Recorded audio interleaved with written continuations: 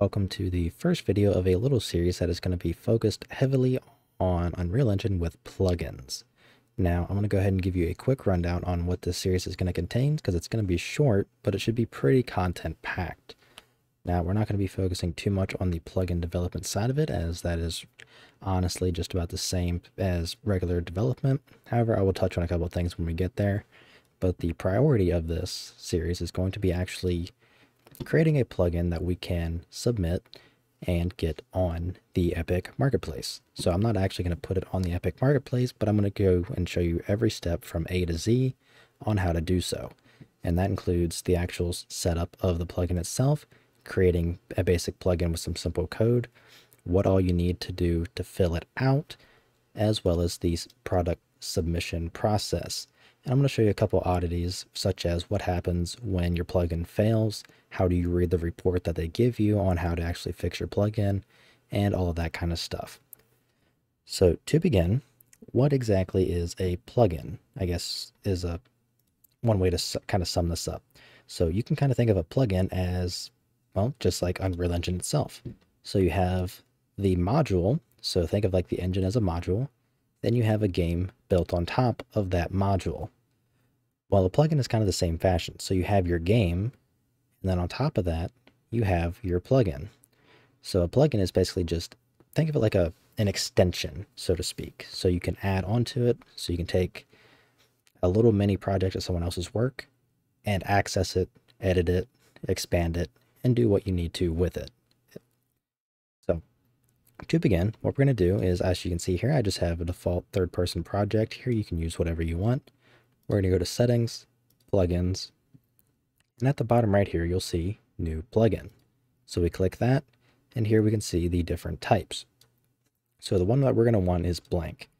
Now, if you look through the rest of these, they may be more suited to whatever you want to do. But again, in this case specifically, we're going to start with blank is we're just going to have a simple actor component inside of our plugin that we can move to other projects as well. So first off, let's go ahead and just fill out the author. So in my case, just Sneaky Kitty and the description, which is going to be YouTube tutorial plugin. Now for the plugin name, I'm just going to call mine. Let's do, let's see, let me actually think of a good name really quick. Okay, so I decided for the plugin it's going to be a actor component and that component is going to have functionality in it to aid in, I guess, spawning a selected actor. So I'm going to call mine spawn assistant. I think that's spelled right. I really don't care if it is or isn't. Then once that's done, we hit create plugin. So let's give that a minute. Alrighty, once that's done, it'll say it was created successfully. And under here, we should have another section for the project with our plugin in it and enabled. And if we head over to our project directory, we will have a new folder called plugins. And inside of that, we should have our new plugin with all the generated content. Now what we can do is, we don't have anything over here just yet.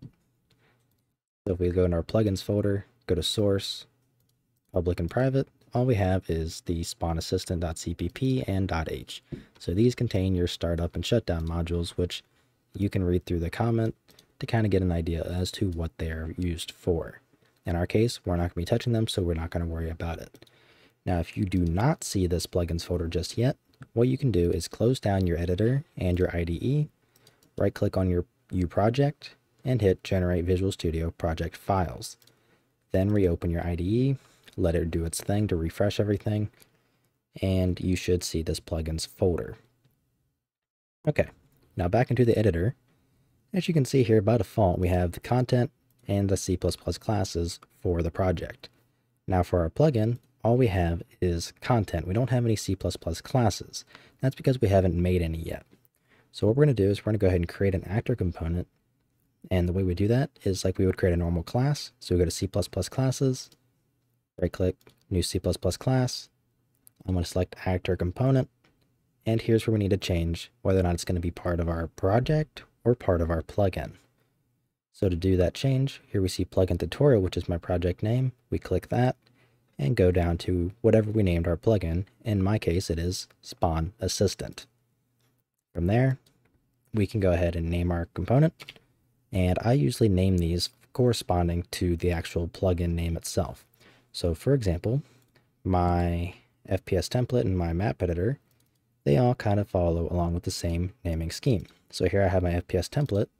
If we look at the source, so all these classes are called FPS template character, FPS template firearm, you know, FPS template barrel, so on and so on. They all kind of follow a very similar naming scheme, indicating that they are part of a specific plugin. So I would recommend you follow a follow this in a similar fashion. So what I'm going to do is call it spawn assistant underscore character component. Hopefully this fits. I am seriously one character too short. So I'm just going to name it spawn assist underscore character component and hit create class. All right, once that's done, it'll either say successful or failed. Either way, you can go ahead and close down that if that appeared and go back to your IDE and you should now see the actor component. So by default, I'm just going to do the basic thing. So I'm going to set tick to false and remove our tick component altogether, just like so. And then the only thing I have to do now is close down the editor and relaunch through the IDE so it recompiles and reloads it. Once that is done, you can see now that we have our C++ classes right here. So one thing that is going to have to be noted for is the copyright. So basically, if all of your classes do not contain the copyright notice, you're basically they are going to fail your plugin just just for that like outright automatically. So one thing you have to make sure you do is fill out your copyright notice. And I'll show you how to do that really quick. So we go to settings, project settings, and here if we just search for, well, actually scratch that, it's right here. So under all settings, if we go down to project description, you will see under legal, the copyright notice. So we have to fill this out and I'm going to go ahead and copy and paste what I use in all my others. So hopefully you'll be able to read this, but as it states, it'll be copyright 2021 or the year. So here we're nearing on 2022. So once 2022 kicks off, probably going to want to change that to 2022. Then your first name, your last name, and all rights reserved. This is the format that I've been using, which is basically just a mimic of Epic. So if we go to spawnassistant.h, you can see copyright Epic Games Incorporated, all rights reserved. Well, now we will basically have the same thing for ourselves. So let's go ahead and copy this and go ahead and save all really quick and replace what we have now. So in our spawn assist character component, we can copy that and just paste it in. Same thing for our header, just like so. So your copyright notice is set at the top. Now, once, since you have already done this inside of your project settings, any new class that you create, this will get filled out automatically for you so you don't have to worry about it. So that pretty much sums up the gist of it. Uh, let me double check my notes really quick and see if there's anything else that I want to cover in this video before we continue. Okay, so the only other thing I want to go ahead and briefly cover really quick is the actual, I guess you could say the description of it. So if we head over to plugins, go to our plugin folder and right click on our U plugin and open it with Notepad, you will see here we have a bunch of information about it that we can set. So for example, under modules, what we would do is, let's say our plugin required us to use Niagara. Well, you would add another section here indicating that you are using Niagara and that kind of stuff. Uh, you can go ahead and remove, if you wish, the is beta version or is experimental version. I have found if you have either of these set to true, well, at least in my case anyways, when I was in the early stages of submitting my FPS template plugin, they did not like that I had it set to as a beta version. And whenever I got rid of that, for whatever reason, that was part of the reason that they were failing it. So that's something you can kind of take into consideration. But generally, when you're putting something up in the marketplace, you will want to have thoroughly tested it to make sure that there is no glaring problems with it. So other than that, for now, we can leave all of this the same. And the only other things we would want to change in the future are going to be our support URL. So for example, that would be, in my case, a link to my Discord, which has all my support channels with it. Then later, be again, before submission, we are going to have to actually create, well, figure out our marketplace URL and paste that in there because again, this will be a reason for it to fail submission. Then for our documentation, so in most of my cases, it's a video, it's a playlist on YouTube. So that's what I would put the link in there. Then the created by URL. So this would again be my YouTube channel.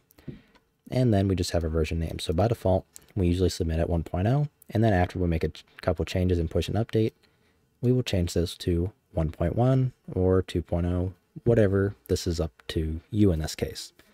So that's generally how you would go through and make your changes before each update and before your initial submission. So I'm going to go ahead and stop here and leave it as is. So in the next video, we're going to just make this little plugin here have some functionality behind it. And then we will go and work on actually setting up a very simple environment that we can build our plugin with. And I have found some great use out of this. So here I'll show you a brief rundown. So for example, I build for 4.26 and 4.27 for my FPS plugin, and I have set up batch files that aid in actually compiling and, well, let me phrase that, building the plugin folders that we need. So it generates these two right here with all of the information and data that we have. So all I have to do is zip this up, upload it, and send it for submission. So we will be building out something very similar to this to aid in the building process of our actual plugin for our submission and for our updates just to make our lives tremendously easier down the road. Because again, if it what might, you know, compile just fine inside your IDE for Unreal Engine, it might fail when you are actually packaging it from your editor, or it might fail for different reasons through building it, you know, in standalone as I do here. And if you have problems in either one of those, specifically building it as a plugin, then you're, you will end up with a failed submission. So that is going to be all for now. If you like what I'm doing and you want to help support me, you can find a link to my Patreon in the description below, where I have a Team Deathmatch series just for Patrons, as well as you get early access to pretty much all of my videos, such as this one. If you have any questions, anything like that, feel free to join my Discord server that's also linked down below, and I'll try to help you out. So, I'll see you in the next video.